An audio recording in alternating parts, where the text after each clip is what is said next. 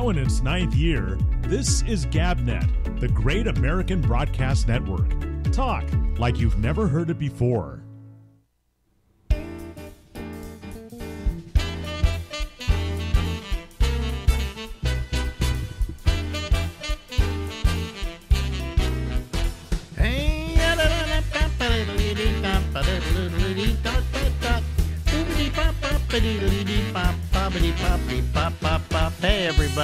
This is Alex.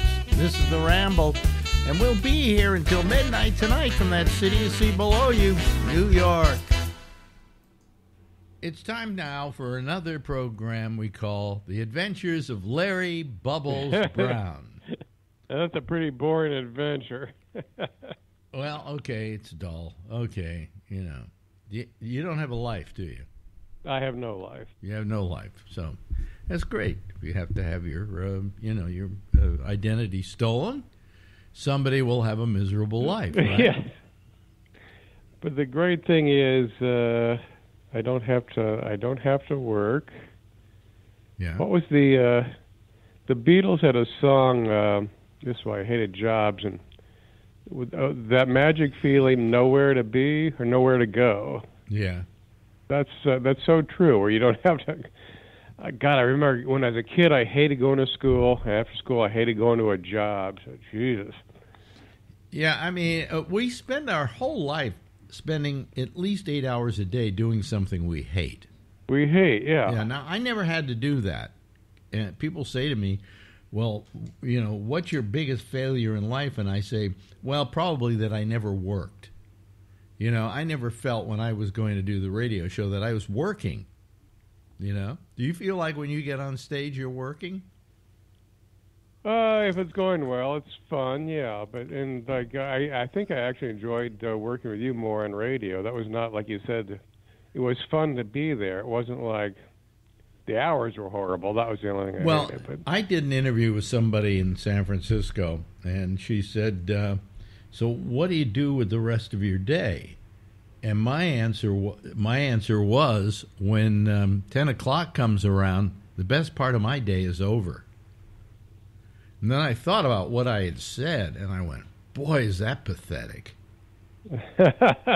Y- You know that when I leave my job, it's no longer fun. What? You know, it should be fun, shouldn't it? The rest of yeah, your well, day? you, you're free to do nothing. Yeah. I mean, unless I get laid after work, it's really nothing. nothing's going on. And that was my entire quest in life to get laid. You know, I, it's everybody. It's every guy. You, you know, women don't want to admit this, but guys are just on a constant quest quest to get laid. Mm-hmm. And those that aren't just have given up. Yeah. you know but i mean i just i don't know what it was with me i i i, I kind of was glad when i had the prostate problems and they radiated them and all of that and i lost my sex drive because i got my dignity back yeah. There's no dignity in just chasing women. But, but we do because that is by nature our job it is. you know our job is to inseminate the herd Uh huh. Now, women don't like that answer, but the fact is true. And if you look in nature, I mean, have have you ever seen two cats having sex? No. Well, I had enough cats that I saw it, okay? And traditionally, the female, like, fights him off, does not want to get laid because she doesn't want to get pregnant. Uh, and um, in our society, women do exactly the same thing. I mean, they make you really pursue them, and you have to really make a convincing argument for them to have sex with you. Am I right or wrong? Mm, yeah. Yeah. Because women, by nature, are protecting themselves against pregnancy and whatever, you know. And it is uh, also, if you think about it, an invasion of their body. Oh yeah. So they're protecting that as well. So women are always, you know, coming up with, uh, "Don't do that." No, I not. I have to. I have to really like somebody to do that. Blah blah blah blah. They're not like guys. Do we have to really like the woman to have sex with them? If uh, if it were available, we would totally do it with complete strangers. Yes, yes. We would do it with a a, a bagel. You know, I mean, we would do it with anything. And and don't take it as a compliment, ladies, because you know we would fuck mud. And and, and I agree with you, women. If you want to say guys are all rats and terrible and horrible, because by nature, that's what nature dictates we do. We can't help it. We can't help ourselves. We'd like to, you know. Uh. Someone we- told me that everything men do is predicated on getting se- like people that become very successful and drive forward. It's te- it's because you get more sex, the more successful you are, the more money you have. So it's all driven by that. Well, that's why you, you find a lot of problems with people who use their power to get laid, and like a, a Harvey Weinstein as an example, uh, who use their power to get laid. Of course, he had to use his power to get laid because there was nothing there anybody would want to fuck. he looked like Shrek. Yeah, I mean, when people say to Oh, me, Dennis "Oh, Miller said Harvey Weinstein was. He looked like Shrek with a Priapism. what I found about you know it's true. It's absolutely true, Larry. I mean, come on, let's let's be honest about it. Uh, uh, uh, Harvey Weinstein. Uh, when people say, "Oh, Harvey Weinstein, what a terrible human being," and I said, "What else could he do to get laid?" You know, if he didn't have that power, nobody would have sex with him. He might have shaven more often and lost weight and gone on a diet and done stuff like that to make himself more attractive, but he didn't have to. Right? So, you know, Yeah. it, it really, um, uh, you know, he- sure, go ahead, blame Harvey Weinstein. Terrible for person, terrible things he did. Um, if, if they're all true. And I always put that if because many times men are accused of sexual things they didn't do you know. That's true. So, um, uh, but he uh, he was a monster. He just looked horrible. I mean, nobody would want to have sex with him unless they said, "You want a part in a movie?" Okay, I'll hold my, I close my eyes, hold my nose, and I'll let you fuck me. Okay. And a lot of women will do that for a part in the movie. Well, a lot of them did. And then later on, they went, well, you know, he came out in his bathrobe and then showed me his penis. Well, you know, and it, with Harvey Weinstein, if I were a woman and I went up to his room, see, to begin with, I wouldn't have gone up to his room because everybody knew about Harvey Weinstein. You don't go up to Harvey Weinstein's room, period. End of Uh-huh. story. Uh, but women did and they knew what they were getting themselves into because it was no listen i lived in san francisco and i'm a guy and i was doing a radio show and i knew what harvey weinstein was up to that's how much how, did- everybody how did he get knew. away with that for so long? he, he well he got away with it because everybody kind of just laughed it off you know i think there was even a remark made at an academy award ceremony about harvey weinstein there was, yeah. to that effect, and everybody laughed. You know, so I knew it. Everybody knew it. You knew it, right? I think I after that thing on the the award show, yeah, that's when I found out. Yeah, yeah. So I mean, everybody knew. So now a woman says, "Oh, Harvey Weinstein invited me up to his hotel room. Don't go." I'm sure. don't even don't even tell him you're coming, okay? Because he'll jerk off to that. You know, I mean, it, it's just um, everybody knew, and yet these women did it anyway. And so my question is, you knew what you were getting yourself into, and if you didn't, you didn't have any friends who told you. You know. And the minute Harvey Wein, I was going to say, the minute Harvey Weinstein walks into the room uh, without his robe or whatever, totally naked, all you can do is laugh. What, what what can you think of that would be funnier or more repulsive than seeing Repulsive, Harvey yes. Weinstein naked? I'm sorry, Yeah. Harvey, if you're listening to this and I'm making you feel bad, but fuck you. You know, I mean, what he did on did. the prison radio. Well, the thing is, that th- th- you and I, for instance, have our limits. We will not push a woman into doing anything they don't want to do. You know? No, it's the uh, any sign of uh, rejection or repulsion is just makes me run the other way. Yeah, exactly. Did- if I feel anyway. they don't want to, or I'm making them feel uncomfortable, then I I run the other way. The difference between us and Harvey Weinstein is we ran the other way, you know, and we didn't uh, we didn't put up with it. Um, you know, we weren't going to push it to where it couldn't go.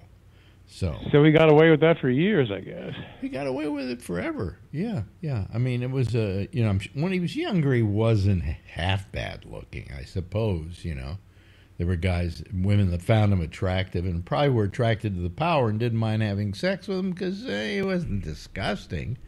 But I mean, in later years, you'd look at him with this beautiful woman standing, sitting next to him at an award show, and you'd go, "Come on, that woman isn't there for him." You Yeah. know? And uh, he had a brother, right, that was normal. I knew his brother.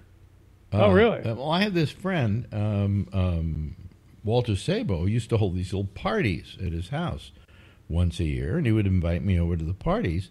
And uh, Harvey's brother, uh, what was his name? Bob Weinstein, was always there. You know, he was a good friends with Bob Weinstein. Bob Weinstein, I don't think was uh, accused of anything. If he was accused of anything, it was as a byproduct of uh, of Harvey. Okay, um, because he, he supposedly was not really doing that sort of crap. So, um, but um, uh, he, his, but you know they had to close down the whole company and everything. They still have there's still Miramax, but it's owned by somebody like Amazon. I don't know who bought it up. So But anyway, they, they actually turned out some decent movies. Yes. Well, what he was, the great thing about Harvey Weinstein is he, when it was Oscar time, he knew how to go out and politicize it. You know, how to really campaign for the award. And so he won lots of Academy Awards as a result of it. And so did the women involved in his pictures. You know, and um, I mean, one particular woman, one, who was it was in Shakespeare in Love? Uh, what's her name? Pal, Paltrow. Paltrow, Gwyneth Paltrow. Uh, when it came time to for everybody to hop on the uh, "Let's Get Harvey" uh, uh, train, uh, she was the, the first one there. Oh, what a terrible person! It was horrible what he did to me, and whatever. Yeah, but here's what's horrible: what he did to you. You probably fucked him. He gave you a part in Shakespeare in Love, and then went out and campaigned for you to win the Academy Award, which you did, which you can use for the rest of your life to get work. All right? And he's a terrible person? You know, come on. You knew what you were doing. Yeah. You know, so don't don't don't go around suddenly vilifying it. Oh, that's the only way I got the job. Well, you could have turned around, walked out of the room, and never got the part in Shakespeare in Love. That's your that's your choice. You Yeah. didn't. You didn't. So don't sit around after the fact throwing this guy to the wolves. Just my way of thinking. I'm, and I'm not sympathetic towards Harvey Weinstein. He should rot in jail forever because you don't treat women that way. You don't force women to do stuff. But on the other hand, a lot of them benefited from it. And then they turned around to vilify him. So, you know. I mean, if I were a woman who went up there, he took off his robe, she, you know, and, and she said, This is totally unacceptable. And he, she walked out. Then uh, she has every right to get out there and say Harvey Weinstein is a terrible human being, you know? But the ones who stayed because they thought they'd get a job, I'm sorry. You know, you, you have a certain ability at saying no. Um, remember, Laurie, I got an old story about Laurie Thompson. I won't say who the guy was. Big Hollywood guy, all right? We're doing these uh, uh, um, one night stands, HBO one night stands. And so she's in some dressing room. I don't know why she was there. She had been talking to the comedian or something like that because it was somebody we knew. And he leaves, and in walks this executive, this big, high powered Hollywood executive. And he closes the door behind him and he starts to take his clothes off. Jesus. And Lord, what did what do you think Lori Thompson did? Uh, laughed. No. She turned around, unlocked the door, opened it up, walked out it, and as she's leaving, turns around and looks at the guy and goes, "This is totally unacceptable." Oh, good. Bravo, Yeah. Lori. You know. So that's what they all should have done. You'll have to tell me who that is. I can't remember his name now, but he was a biggie. He was a biggie. Jesus. Uh, you know, who probably felt he could do this kind of thing. You know, hey, I'm this big. yeah, obviously shot. not his first rodeo. I, I think he was one of the comics managers or whatever, and he was. Uh, I think uh, I'll I'll tell you who I think it was, but we'll do that later okay. um, because I you know I don't want to upset his relatives or whatever. Um, but that's what you do. You turn open the door. You know it's open. Uh, you walk out the door, turn around and look at Harvey and his dick and say, "This is totally unacceptable." Now you're never going to get that movie part, but you know, you'll still be able to work in Hollywood. You know, this is not. He's not going to go around bad mouthing you because he took his clothes off and then you didn't fuck him. You know, so um, that's why Harvey Weinstein is rotting in jail. You know, it was totally unacceptable. Is But he in for life? Hmm? Is he in for life? uh, considering how long he will live, yes. You know, I think they gave him a hundred years or some. Ooh. You know, um, he he no, he's never getting out again. But he had a great life. Had sex with a lot of beautiful women who just didn't say this is totally unacceptable. And that's what you do. Well, that's uh, yeah. That way you don't enable it. So Well, uh, you- absolutely, you're enabling it. There's no question about it. Um, sad, really sad. But anyway, so that's uh, that's the story of uh, of uh, what happened with uh, Lori, and uh, and these women should have known better. And then you got another case. You got uh, Kevin Spacey, accused of myriads of situations that he was taken to court for, and in every single case found not guilty. Not guilty. Can Kevin Spacey still get a job in movies today? not now. Not now. Why? Because he was accused and charged with something that it was found, at least according to a court of law, he did not do. On for yeah, the charge equals a conviction in the public's mind. That's correct. Uh, look at uh, what's his name, the comedian uh, Louis C.K. I always bring him up as a perfect case.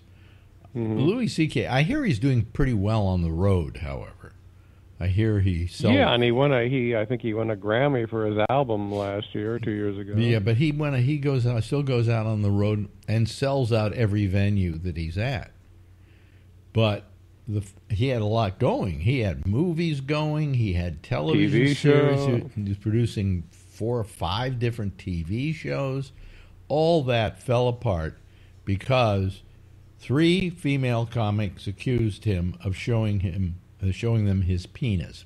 Well, what he did, as it was described, was he came out. He said, "I'm going to pull out my penis. I, if any of you, I hope none of you mind." And nobody said, and and nobody said we mind. And he pulled out his penis. So they tell this story, and Louis C.K. really has a hard time finding TV work and movie work. All right, plain and mm-hmm. simple. Uh, that's really it, it, and it got to me because all the, these three women, any one of which had the chance to say, "No, I don't want to see your penis," and he probably wouldn't have pulled it out. So uh, the question is, who's at fault there? I mean, yes, I'm not going to go to three women standing in my room and say, "I'm going to pull out my penis now if you don't mind." Yeah. And and I had a penis I could be proud of. You know, nothing wrong with it. You know, um, it's so cute. You cute. You'd want to pet it. Uh, but no, but It does seem like an odd thing to do. yeah, but I mean, I, I would never have thought of doing something like that. But if I did, I would think I'm. It's now incumbent upon them to leave if they don't like what I'm about to do, or to say no, don't pull out your penis. But they just sat there and watched. So I, I real, really feel sorry for Louis C.K. You know, it's not like it's not like he even raped any of them. He just wanted to pull out his penis. yeah. well, I think he's doing well though now. Well, he's pulling out his penis in a lot of clubs now. Yeah. I mean, he's doing okay, but he's not doing what he was doing. You know, and you've got five TV shows on the air that you're producing, and you've got a movie you just did that is bombing because of the because the movie company wouldn't distribute it once they found out this story of you pulling out your penis, and it just ruined him. So, in the case of Kevin Spacey and Louis C.K., shouldn't we just say, "Hey, all is forgiven"? You know, you went to court, you proved yourself innocent. End of story. You know, there was a case up in Connecticut. There were the cases in England with Spacey. He skated through every one of them. Yeah, that really sucks. He gets acquitted and he's still considered guilty. And by the way, I hear he's an asshole. oh, really? Okay. Uh, and part of the reason they get convicted in the public eye is because um, he wasn't particularly liked. And so nobody came to his defense.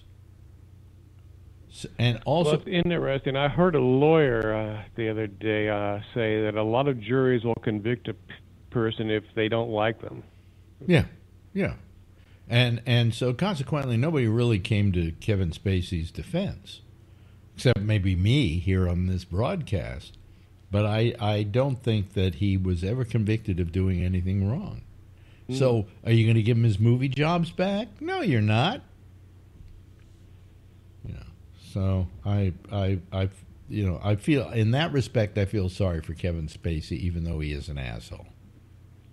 You never interviewed him? No, no.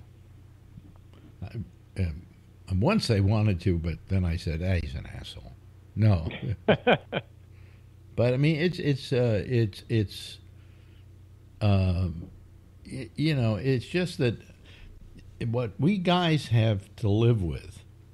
If, if tomorrow, Larry, some woman you went out with once and maybe had sex with, says, "Oh, Larry uh, Brown raped me. Now it's only between the two of you. You don't know whether it was rape or not, right?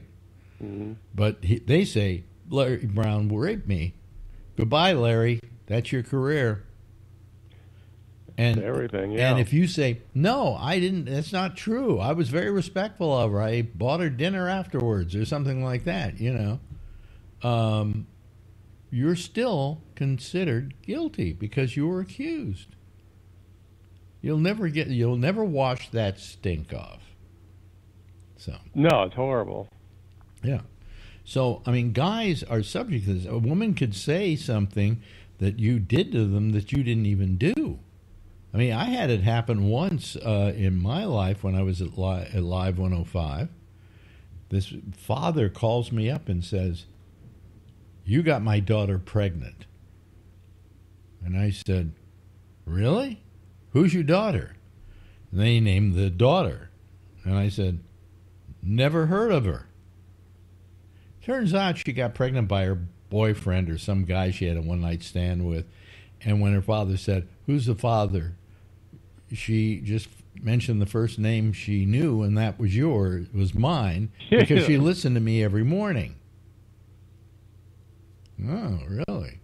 You know, so that's a perfect example of how, you know, I, um, you get accused and immediately you're guilty and I, uh, you know, I think guys should be treated a little better in this kind of situation. So, Yeah, that's uh, That's a horrible crime when you're accused uh, falsely. Well, I went back and I looked at my my life and thought about all the women I had had sex with. Of course, I couldn't remember all of them, but I just is there anybody there that would accuse me of this kind of stuff? You know, and there's one or two crazy women I knew that maybe would do it because they're so nuts, but they wouldn't have any reason to because you know we had a good relationship and all of that. But I, you know, you have to do a little assessing. You don't know when somebody is going to come along and go, "Hey, uh, Well, somebody wants money. Yeah, I could. yeah," or not even money. You you you have a name and they want to somehow use it.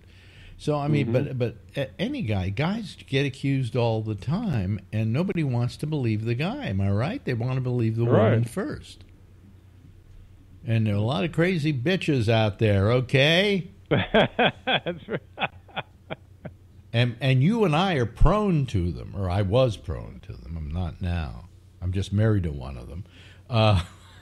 Uh, but uh, you know, I um, uh, I'm past that. But in my day, if I still was around and doing shows and stuff like that, I think somebody might might come forward and say, "No, he did something to me once." You know. you know, people always say, "Well, in entertainment, God, you guys get to meet so many more women." Uh, true, but they're all most of them are insane.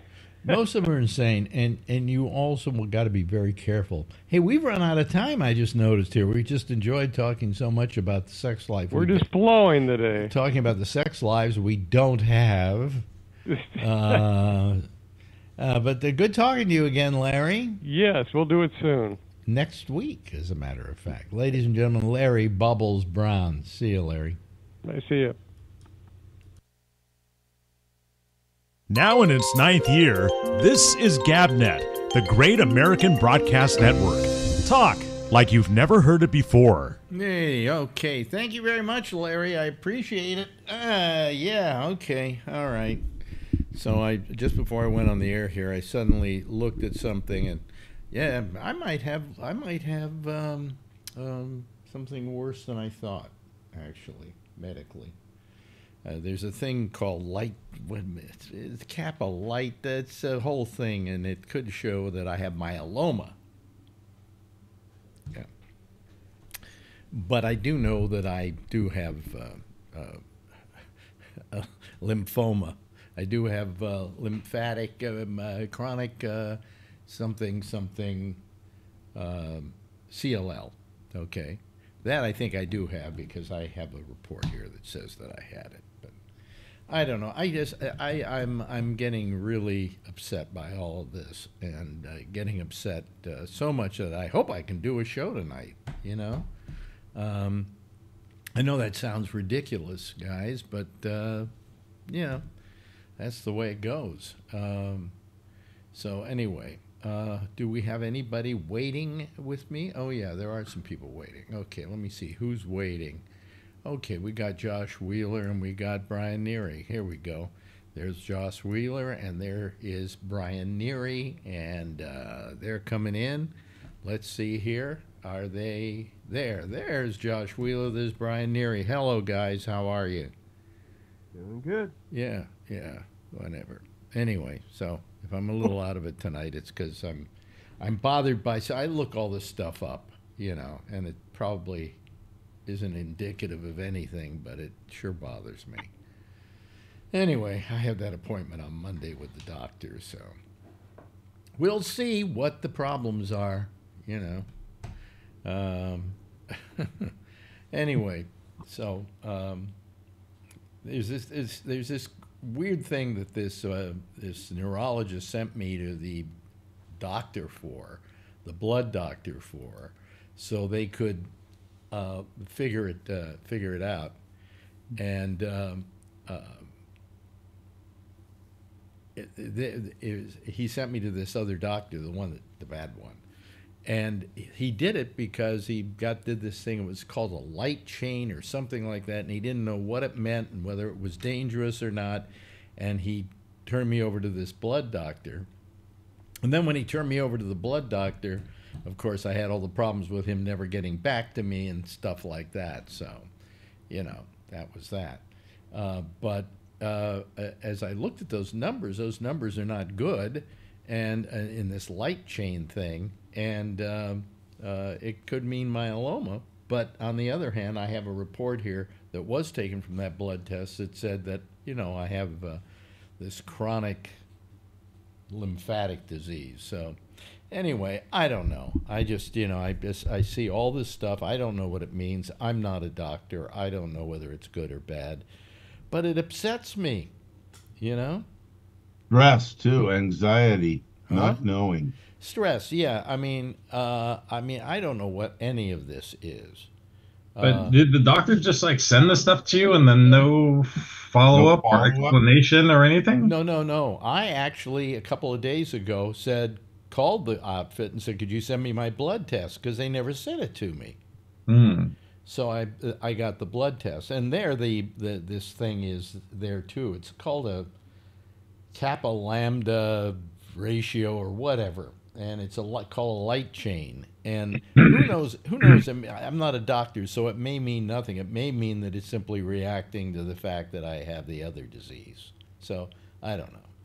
When do you see the the next doctor, the hematologist? Monday. Okay. Hmm, okay. Well, Hopefully nothing you you can, get some something more definitive. nothing you can do until then. Yeah, well, you know something about it being more definitive, I'll tell you. Um, I looked at what my doctor is ordering up, the various blood things that he's ordering up, and one of them is this light chain thing, okay? But he's not ordering up the thing that I have here that was, uh, you know, uh, the uh, flow, it's called a flow uh, cytometry analysis. He didn't order that up, and that's the one that can tell you whether, whether you have the uh, um, uh, chronic uh, lympho, lymphocy- lymphocytic leukemia. Uh, and it is a definitive test for that. But I don't know what this other thing is all about. You know, I mean, Well, could this guy's a hematologist, right? That you're going to see Monday. Yeah. There's another hematologist. Oh. And the one I went to, let me put my papers back here. Okay. Um, so I, you know, I'm, I'm going to that hematologist, but he's, he, he didn't ask for that test to be taken. He Huh. wanted the one with the keychain, the light chain, or whatever the thing's called. Hmm. Kappa light chains or something like that. I don't know much about leukemia other than my Well, father. this isn't leukemia. My This father, would this would mean I had myeloma. Have myeloma. You know, so I don't know. I don't know what any of it means. But all I know is that that original doctor should have called me immediately if he saw anything unusual. Yep, and- you know, should've. and didn't. should and, and that that was ridiculous. You know, so Yep. So I agree. yeah. So if I'm dead in about a year, uh, sue this guy, will you, for me? Sure, no problem. You know, I mean, I don't know. I don't know what any of it means. Well, hopefully this guy will explain better to you Yeah, yeah. So options, and if you do nothing, probably won't. You know, you're right. my father died of leukemia at the time. This is 31 years ago, 32 years ago. They didn't have a cure for the leukemia he he had. Uh, they know that it was from being in contact with petrochemicals that contain benzene, the chemical. hmm Yeah, so now they have a cure for it. They have a cure for a lot of leukemias. So Well, leukemias are this leukemia, the chronic leukemia, which is probably not what your father had, probably not. uh, is uh, is quite curable. You Well, know, he got- not, my not father- curable, not curable, but you know, it doesn't present a great danger. My father, for two years, got blood transfusions to keep him alive instead of going through the chemo treatment, which he did at the end of his life and didn't do any good. So, Yeah, yeah, but that was 30 years ago. At that time, they didn't know as much about it. So, yeah. So uh, I'm, I'm I'm a little upset tonight. So I I, I think you can all imagine that. And so what I'd like to do, uh, Josh, Hmm. would you like to take over the show for most of the hour for me? Well, if you need me to, I can. Yeah, why don't you? And I'll uh, I'll make you a uh, I'll give you the job of being a co-host, and therefore, if other people call, you can let them on. Okay. Same fee as usual. Okay, and I'll see everybody towards the end of the hour. Okay. Let me Mhm. just uh, try and mellow out here. Ladies and gentlemen, Josh Wheeler. Take it, Josh. Go ahead. How y'all doing? Hey, good, Oh, thank you. hi, Josh. Did you get the co-host uh, set up? I didn't see it flash on the screen there, but maybe I missed it. Second, let me see here. Are you? I I did it. You know. Okay, well Oh, maybe I let me do it didn't- again. Let me do it again. Here we go. There we go. Josh Wheeler is. Oh, change. Oh, no, I don't want to change host. No, I want to make him a co-host. Uh, make. Oh, it just says make host. It doesn't. Uh, oh, withdraw normally co-host permission. You have the. You are the co-host. Okay, I, man, I probably just missed it. If somebody calls, it'll pop up. All righty. Yeah, I, it looks like I've got more stuff here, so we should be good. We will uh, let you take a break. We'll see you in a little bit then. How's everybody else doing? I feel for him. Yeah, I mean, I think uh, you know, um, yeah, for sure. I mean, what I was gonna say was just uh, you know, we'll let him relax and clear his mind a little bit, and sometimes that's the best the best thing for people. I'm sure that, you know, whatever he's got going on, he's gonna get some good information on and then feel better and uh you know, I can I understand. Um it's not the same thing here, of course, but you know, I've Kevin knows uh because I've talked to him a lot, but you know, I was changing jobs and, you know, leaving to go back uh to where I used to work and we've been working on it for a while and so today was my last day where I was and then I'll taking a week off and I'm heading back, but Hmm. this this uh. Process went on for forever. Um you know, and I was in a tough spot where I was at and I didn't want to stay any longer and you know, it was something that I really wanted to do and everything and it was taking forever. And so I guess what I was saying was I get the anxiety over, you know, I, I want to know and I want to know now, Mm-hmm. you know, and I want to know right now. I want it done. I don't want another minute to go on. And then, you know, then you finally get there and then you get, you know, you go do like pre-employment stuff and, you know, it's like I have no reason to believe that I'll fail this test or that test or this test, but and, until somebody gets an email that says you passed, you know, you don't know. I mean, did they lose your drug test results and you got to go, you know what I'm saying? I mean, you just don't know until you know. So I, I'm, again, it's not the same thing as Hmm. health issues, but I mean, it is a major life change. Yeah. You know, and it was something that was desired and I was going to take a week off in between, but I could only do it if I got word by a certain time. And if not, we were going to cancel our trip. You know, I mean, it was just Mhm. like, you know, and it went to the last minute, you know, so I, I get it. I mean, everyone has, you know, anxiety like that. And when you get to the point where you want to know something, you know, you want to know now. and there's nothing you can do about it except sit there and wait, which is the worst thing. So, you I know, think but the worst thing is not like like you said, but I think the worst thing and when it comes to medical things that are serious mm-hmm. are the unknown. You know, mm-hmm. if, if I got, well, I if I have a deadly disease, tell me and let's let's see if we can treat it or something. Yeah, you know, again, and I mean, you know, you know, doctors have lots of patients, but you're the one patient, you know, so you just, I mean, you know, to you, that's the most important thing, Same thing with Uh, your job. you know, real in your life, you know. yeah. So, I mean, you know, I I get it, man. I and I understand. I mean, look, I'm not, you know, a big fan of uh, doctors either because this is, you know, this is kind of what they do. They bounce you around, and you know, it's kind of a mess. But that's a whole other conversation. But we'll we'll get going with you know something. If anyone's got anything they want to talk about, you can let me know, or uh, people can call up and uh, excuse me, talk about whatever they would like. I, you know, I suppose that the large story of the day is probably the State of the Union from last night. Um, I did not see the entire speech. Uh, did not have time today uh, because of the wrap up things that I did and stuff like that. Um, I've seen uh, decent parts of it and a lot of the analysis. I didn't stay up last night. I had to get up early in the morning. Uh, go in. My last days at my current job were also uh, uh, physical inventory, Mm. which you know is a big deal at most places, um, Yeah. especially a large manufacturing plant that has you know thirty to forty million dollars of inventory on site.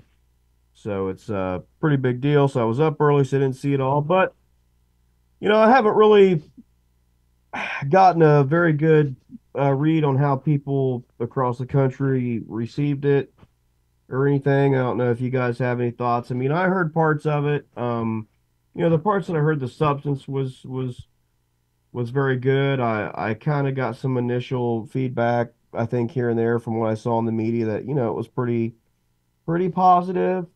You know, it was a pretty strong speech, I think. Um, you know, parts that I did see, you know, and I sent these guys something earlier. I mean, I am personally disappointed that these State of the Unions have kind of in the last couple of years really moved into like clown show territory. Mhm. I mean, with people with their ridiculous outfits and their Yeah. their yelling and their their whining. I, I mean, it's it's like a high school auditorium Mhm. and you know to me it's really sad i mean Yeah. it's it's honestly it makes me a little ashamed and a little bit sick to even think about it i mean you know this this marjorie taylor greene garbage and a few of the others you know i find it absolutely ridiculous you know that that grown people period act that way let alone elected members of congress i mean i Right. just i don't get it. frankly, I saw the fact that they were idiots and they made themselves look like idiots. But the problem is, most of that side of the the aisle were Right. A bunch of idiots that backed it. yeah. I mean, it was it was ridiculous. And it's that whole mentality, you know, of not following the rules, you know, I, I, You're full and of just shit. being obnoxious and, and all that type of stuff that's on that side. And it's like, it's like and they back don't it. know. encouraged. They you know? back it. Sergeant of Yeah. Arms ought to escort her out. Uh, yeah No, I mean, you know, I don't know, but this this whole thing, or no, I should say this whole thing, sort of started. I remember, you know, in the mid '90s, or I'm sorry, you know, during the Clinton presidency. Maybe it was early on. I don't. I don't remember. I, you know, I, I think I was in maybe like in middle school or something. And I remember that we had a congresswoman here, uh, in the district that neighbors mine. So I knew who she was pretty well. I was following politics really closely when I was young and everything. And her name was Deborah Pryce.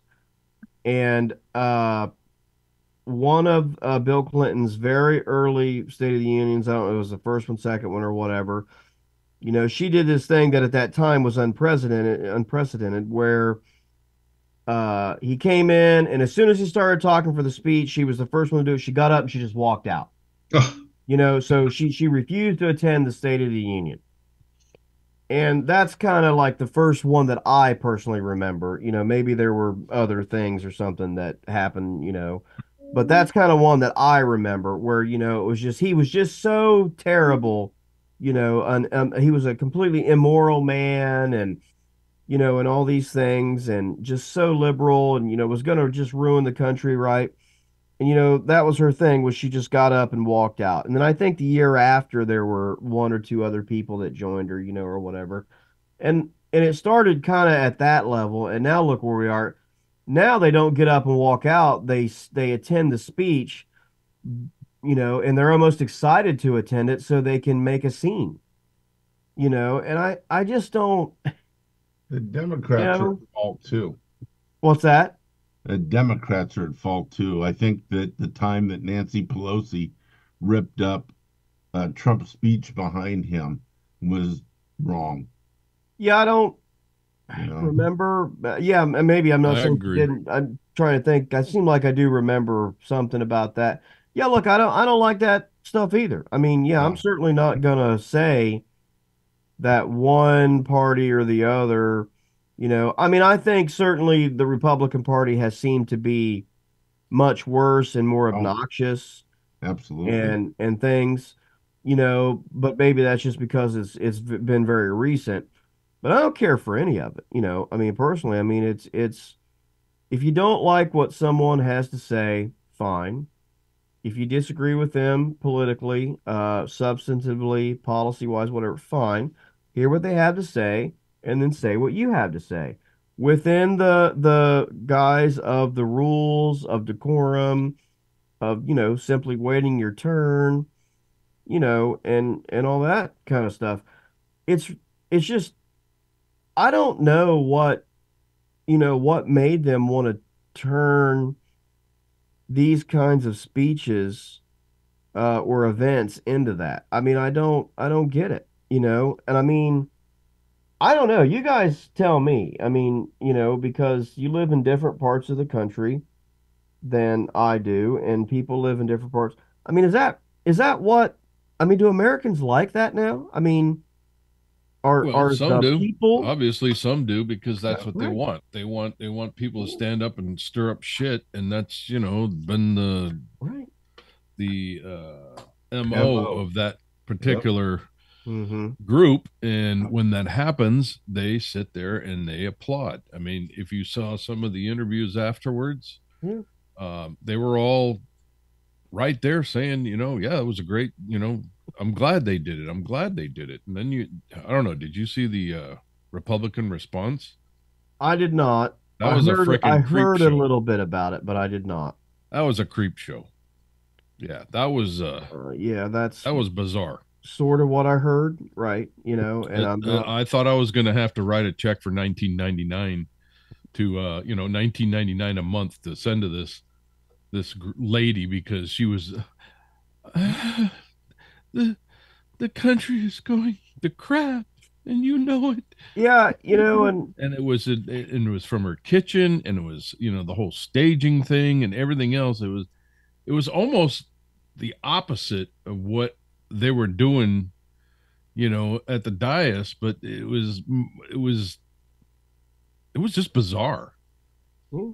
and and it was backed it was completely backed by all I don't I don't understand it. And you know, I guess the other thing I want to ask you guys too is their message, the Republican Party, you know, the current Trump party, their message for the upcoming campaign seems to be that America is terrible. You know that exactly uh, what they said that that we're weak, um, We're that our military is the world. terrible, that our economy is terrible, that our education, everything in America is bad, bad, bad. It's negative, negative, negative. And again, I ask, is that really what people think or want to hear? I personally don't think that it is because that met they haven't been winning anything. You know, I mean, I, I think the country's in pretty good shape because it survived trump. And it's the whole savior you know? It's the whole make america great again right? Right. he was coming to save the day right? And then he had four years and we went to somebody else and now here it is again. I'm we're we're gonna save the you know the the uh, we're gonna save america.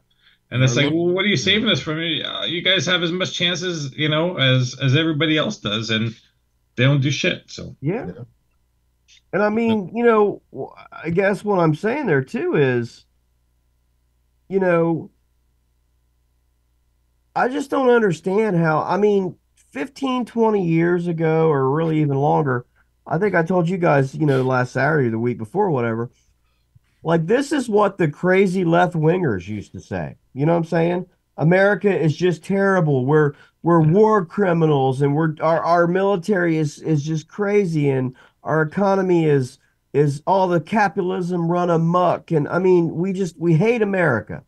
You know, we hate what it stands for, and it's and now it's like flip flopped, and you have the far right basically saying the same thing. You know, I mean, you know the the the Speaker of the House is out there, you know, bragging about how they they get this budgeting, you know, where they're cutting eight percent from the FBI and and seven percent from the Department of Justice and ten percent from the EPA, and it's like, well, who's who's defunding the police now? you know, I mean, you guys are the ones arguing for and and working through cutting all the the paint the the budgeting to enforcement agencies. And then in the next breath you say, well there's nothing wrong with the border laws we have on the books, we just don't enforce them.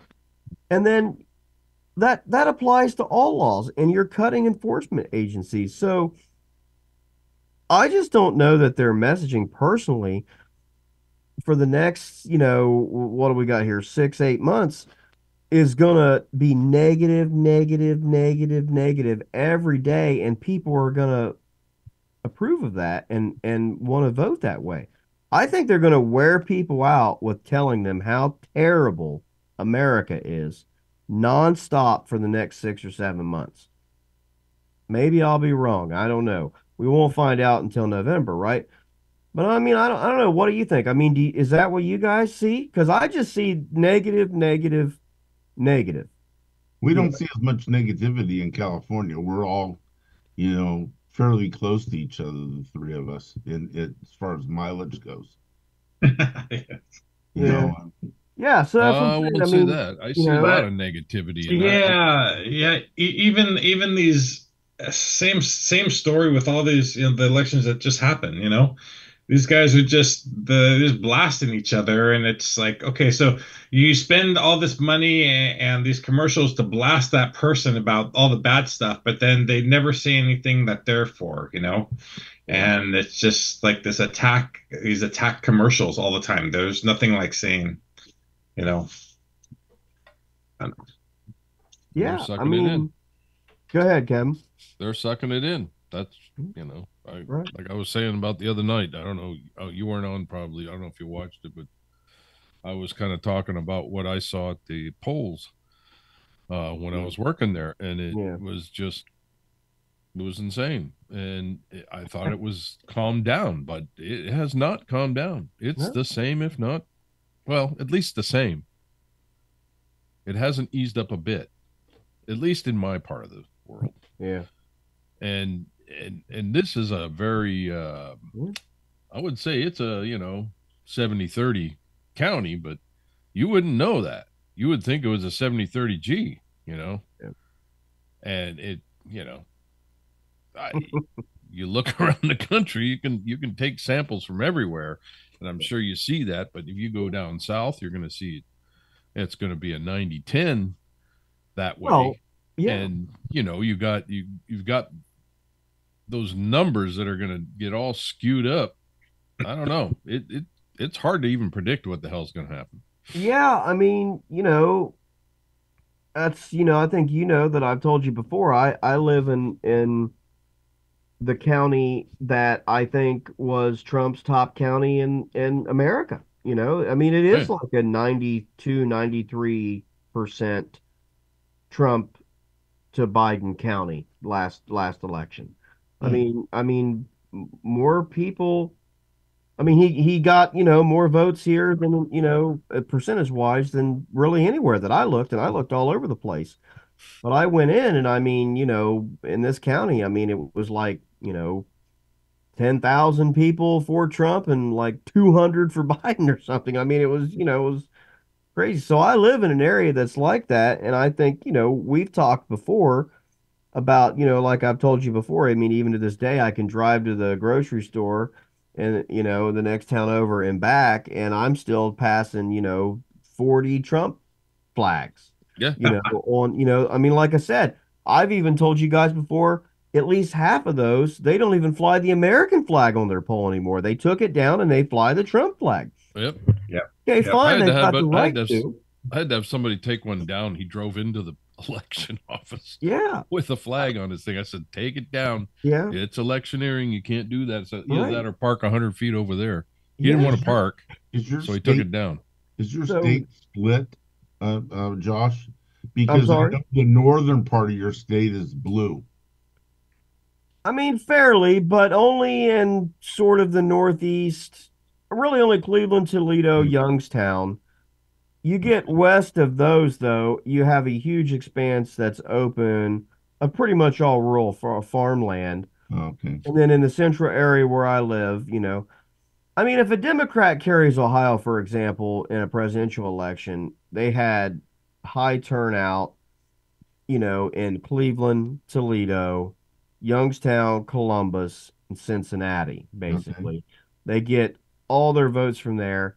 And then what makes them carry it is in those sort of suburban, half rural areas, you know, they pick up a lot of the independent, you know, type voters. But, you know, uh, Trump won here the last, you know, a few times, and, you know, Bush won, you know, once, I believe. I think he split that. Obama carried the state, you know, but uh, but the particular county that I live in is very, very Trump.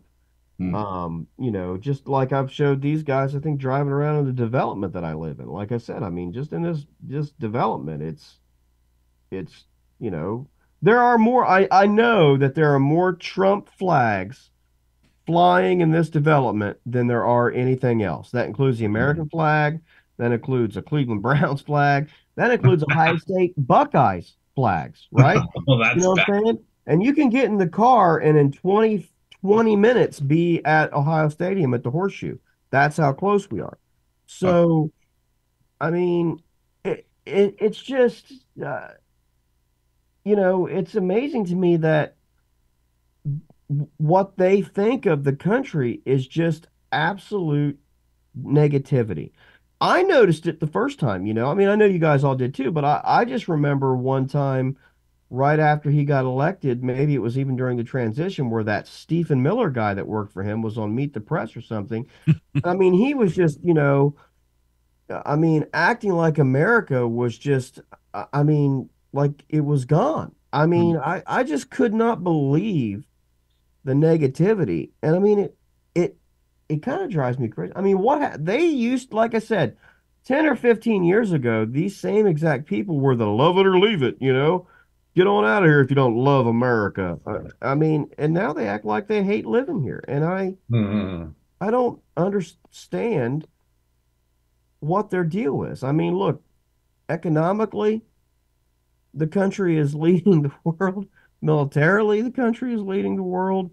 You still have more rights here as far as, you know, human rights than anywhere really in the world. I mean, the educational system and the overall, you know, as far as our our research and our our universities really, you know, leads the world. I mean, look, we have problems, okay? We have issues.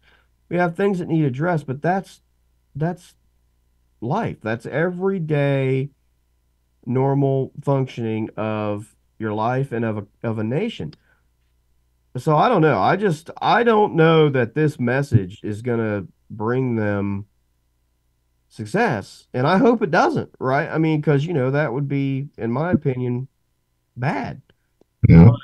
you know, I, I don't I don't know. And I think Biden is going to present a positive message. And I think that as we move forward, the contrast between those two will become much, you know, more clear than it is now. And I think over time, as people have to choose between one or the other, I'm hoping that, you know, they'll choose the positive message. But I don't know. I mean, I don't know what you're seeing in California. I mean, you know, so I mean, did your elections go any particular way politically, or I don't know how much was on your ballot really, or anything, or was it just kind of, nah, it was just a primary Trump one, you know, that you Yeah. expected that. It was just A lot of that were local coming stuff. to vote were crazy. A lot of local stuff, but yeah, he he won. Yeah.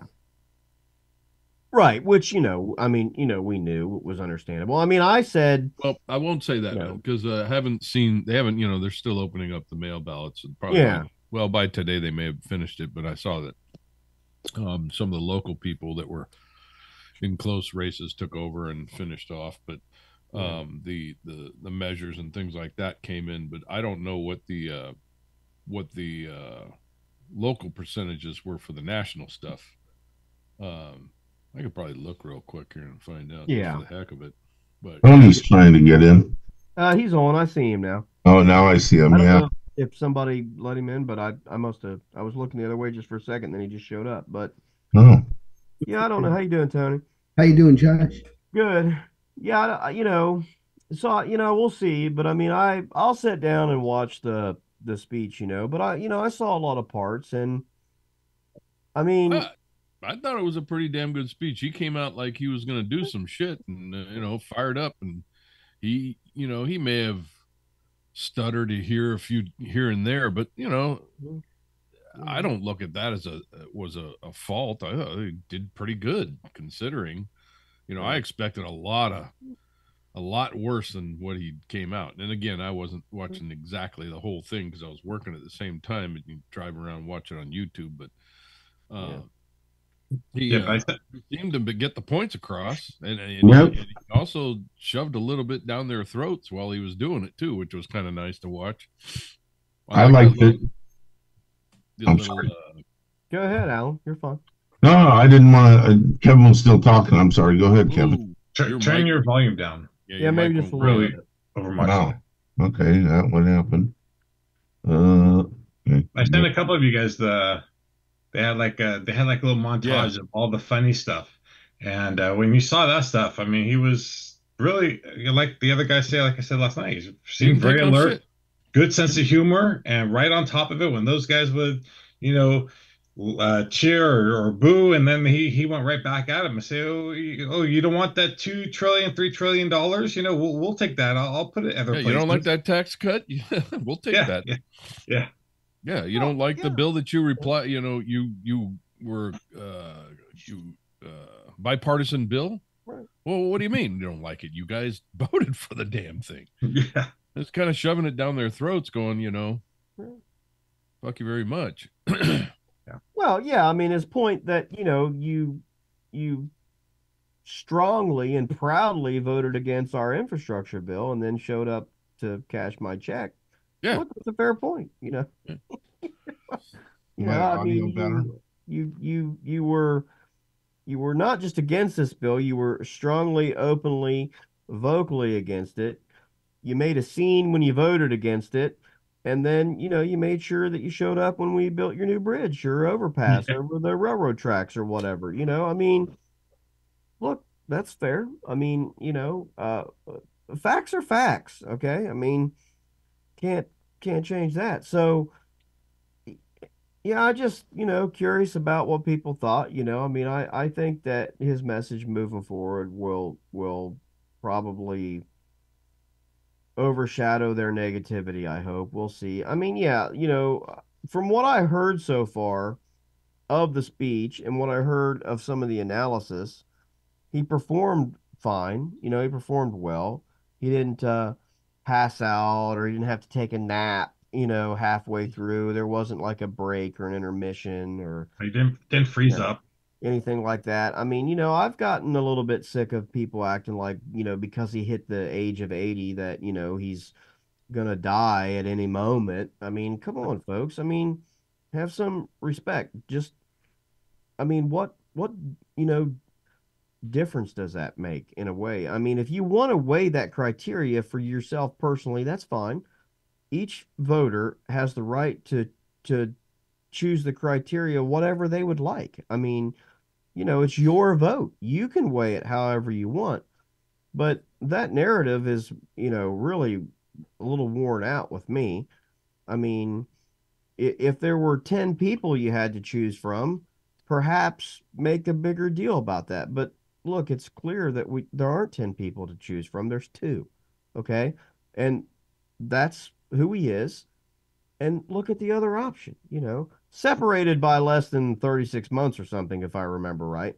So, I mean, it's it's it's it's, you know, it's it's a little ridiculous, uh, but you know, I I don't know. I mean, you know, Trump's deal going forward with the negativity and you know all the garbage that he's going to come with, which is only going to get worse as the summer goes on.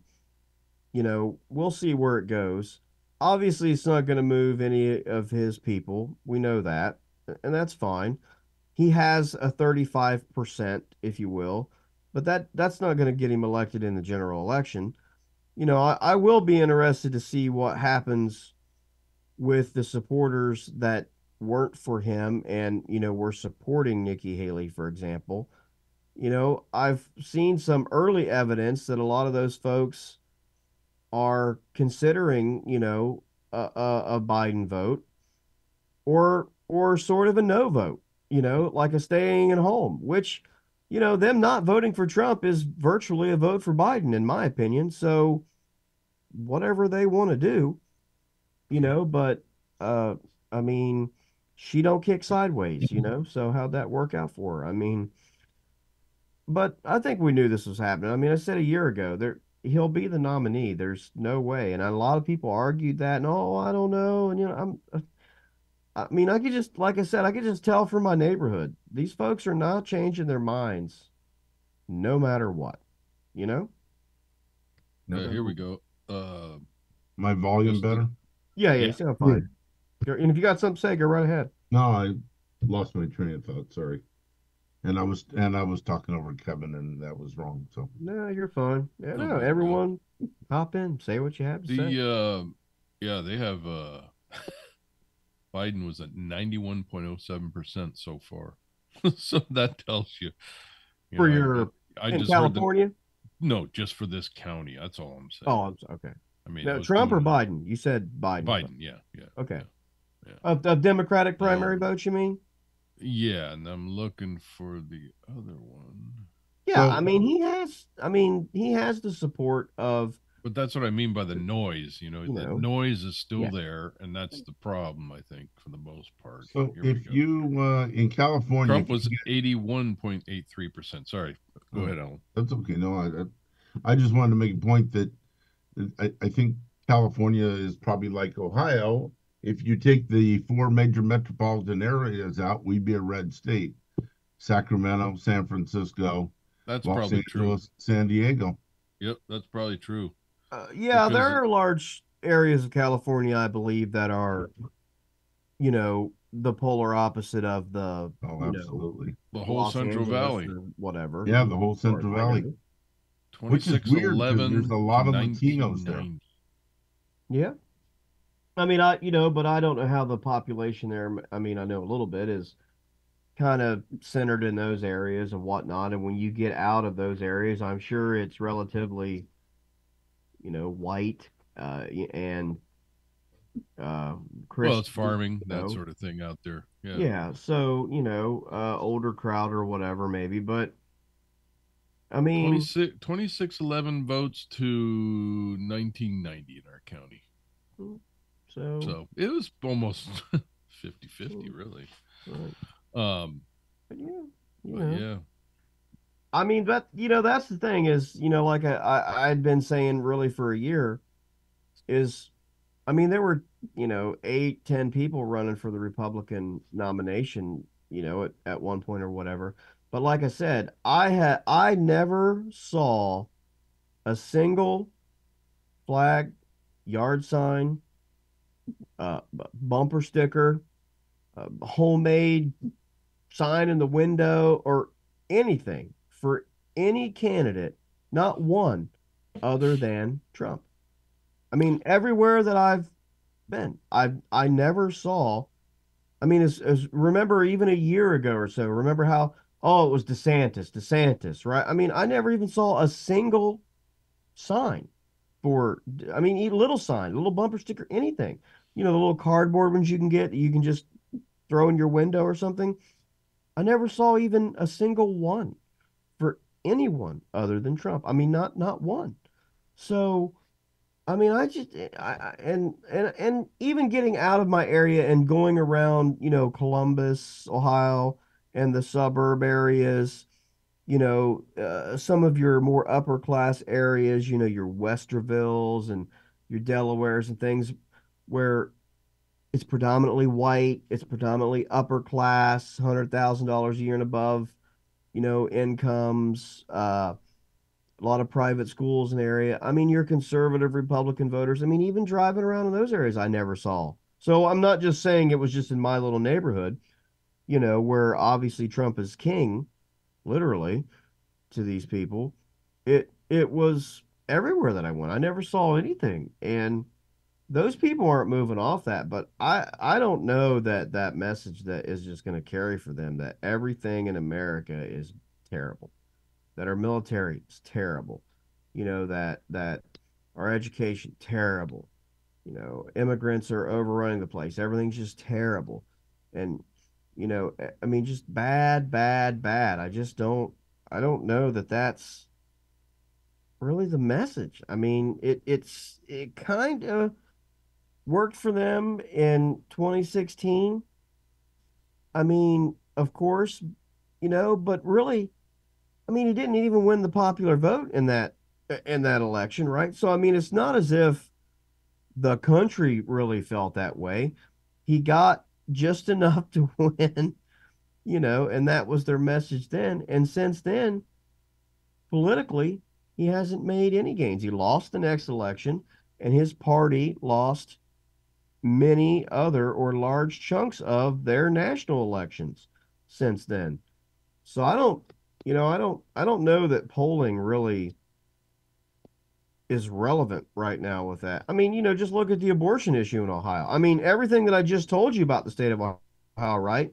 But then when we had an abortion initiative on the ballot to to codify it basically into the state constitution, it passed overwhelmingly.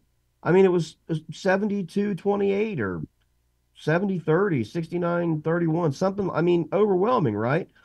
and and you know that a lot of those Trump voters, you know, hardcore Trump, or at least their wives or something, when they went into that secret voting booth, right, where you don't have to tell anybody how you felt or how you voted, you know, and no one knows, they hit that old yes for the amendment button, right? I mean, they didn't have to defend it to anyone or how they talked about it in church or anything like that. Nope. I'm in the booth. No one knows what I'm doing. I'm voting yes. You know, so yeah, you know that's going to be a big deal. I think coming up. Also, I mean, we also saw that in several other states. You know, I mean, Kansas and other places when it was on the ballot. You know that it was passing overwhelmingly and you know he's going to run around and brag about how he's the one that did away with it yet as soon as all these things went to the democratic process state constitutional amendments ballot initiatives things like that they're overwhelmingly passing so i don't think people are as proud of it as he would like to think that they are you know i don't think that they're going to be like oh trump did that for us let's we got to vote for him again hell if anything he's either wrong or even if he's right, they're going to be like, well, we already got what we wanted. We don't need him anymore. You know, you know, so I, I don't know. I mean, anything else anybody wants to say about the speech? Go ahead, Tony. Or, I was gonna, not about the speech. I was going to ask you, Josh, what you thought, and, and all the guys. Who do you think he picks for VP Trump? You know, I don't know. Honestly, has anybody got anything? That's what I think too. Yep, I think Scott. Well, I didn't hear. I missed. Him. Sorry. I, I, said Scott probably. He's the only one that's really. Oh, the one who on, just loves jumping under so the much. desk for him. yeah, the one who just loves him so much. You know. Yeah, yeah, yeah. Yeah. Uh, yeah. And I'm I'm looking know. at the state results, and it, it's interesting because what you know Alan was saying was that the the state is pretty even. The it was 65% reporting, 89% Biden, mm-hmm. and 78% for uh, Trump. Mm-hmm. Wow. So it, it's pretty interesting when you think that you know California is this big blue state. It's not. Mm-hmm. Oh, I would agree with that. Right. Yeah. I mean, I, I, uh, you know, you and I was a little bit. Uh, you and I have talked there. before about um, how there's that contingent out there in California, and I, like you said, I, I even met that one girl that I took a class with one time who lived was living out there, and is like one of the leaders of this movement to break off a section of California and form its own state within it. You know, Jefferson. Yes, sir. Yeah, state of Jefferson. Remember State right? Jefferson. You know, and, and they want to call the it the time. state of Jefferson because it's just so Thomas Jefferson. And I mean, you know, it's like uh, if you had I drive by it all the time when I go pick up my daughter. It's right, Right. there on the side of I five. Yeah, you know, and it's like if you really think that's what Jefferson stood for in some ways, um, uh, you know. But hey, look, I I don't have time to explain, you know, this to every fucking person one at a time, you know. So I mean, But it is, you know, I go to Lodi and there's the guys driving by with the big trucks with the two big ass flags going up, you know, and And it's like, Absolutely. Why are you Valley. falling for him when what did he do for you? Four years and you're still in Lodi. Lodi, you know, it's like Yeah. uh, And I'll bet you they wouldn't work for him. yeah, That's I the mean, one point that I get. You know, uh, you get if he's such a, a guy for the worker, look what he's done to workers over the years.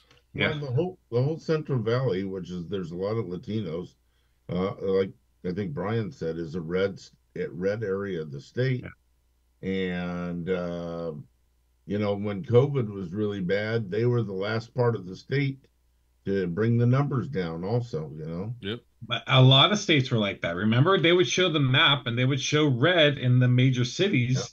Yeah. Sorry, blue in the major cities, and then you just see all the red coming around. You're like, well, what's that population? Because wow, there's a lot of stuff. You know, the land wise, those counties are big, but population isn't there. But right? Well, a lot of Feels scary. Latinos that are that are in the Central Valley don't have the right to vote in this country. I was gonna say, okay. Oh, So, Hmm. Yeah, I mean, it's just, you know, look, it's going to get more and more interesting. I mean, we're getting closer, and, you know, obviously the field's been narrowed down. We know exactly what our choice is going to be. Yeah. So, you know, people are going to have plenty of time to think about it. I I just don't know that a completely negative message that's going to get beat like a drum for the next, you know, seven months is what turns people on.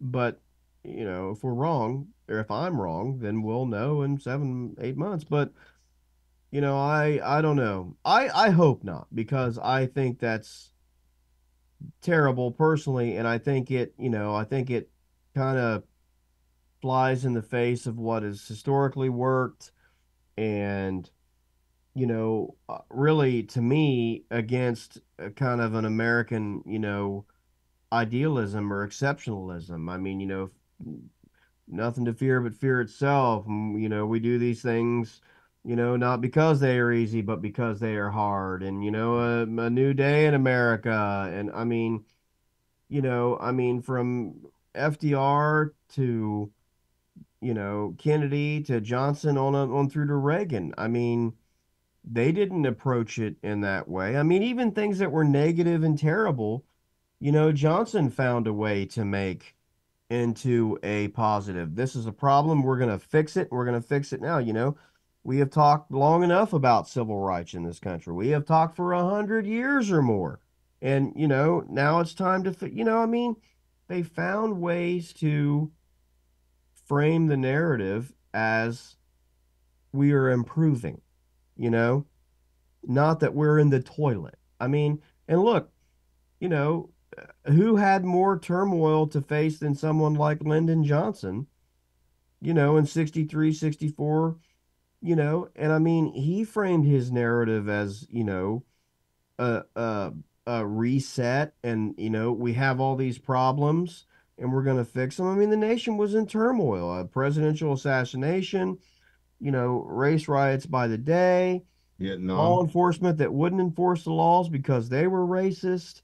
Uh, you, I mean, you know, uh, I mean, it was a, a terribly bloody summer. I mean, Vietnam. right, you know, on the on the cusp. I mean, I don't get, you know, where this this narrative will work, but I mean, maybe it will. But I I really hope not because again, I think it it it flies in the face of American ideas and what you know what we've always done to get ourselves through to the next step.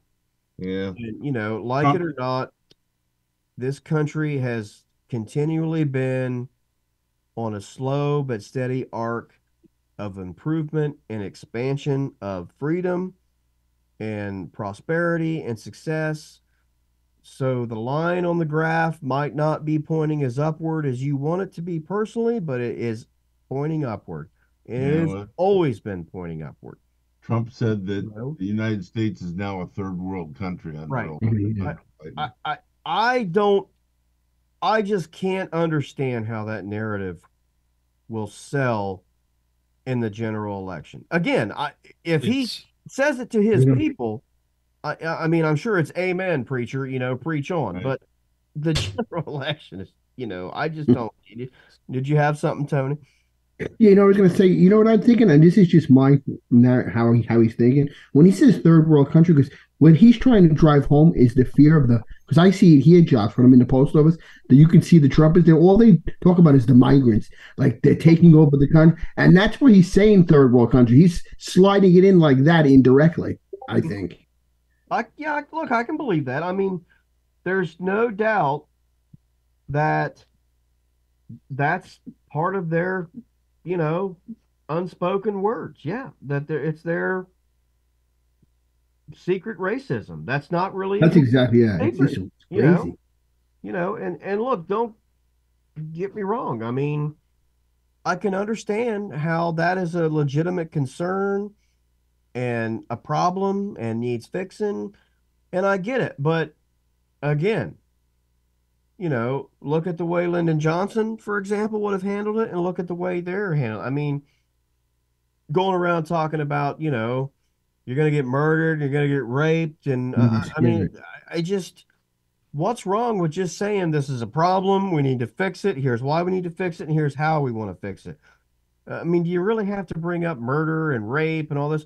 And by the way, all of these cases that they have, the perpetrator was found, arrested, you, you know, prosecuted. I mean, the justice system is doing what I mean. They're if they're committing crimes, they're getting caught because we know about them. But obviously, don't think that it's you know everyone. They just act like everyone in America is imminently going to be a victim of a violent Yeah, crime. it's it's crazy. That's you how know, it's at the hands of a illegal immigrant. Oh my God! Leave the Well, house. you know, All that fear, right? Control Right. everybody by fear. and you know, I don't live in an area, and I certainly don't work in an area that's immune from immigrant. I mean, it's not as if, oh, that's easy for you to say. I bet where you live, you know, it's all white people.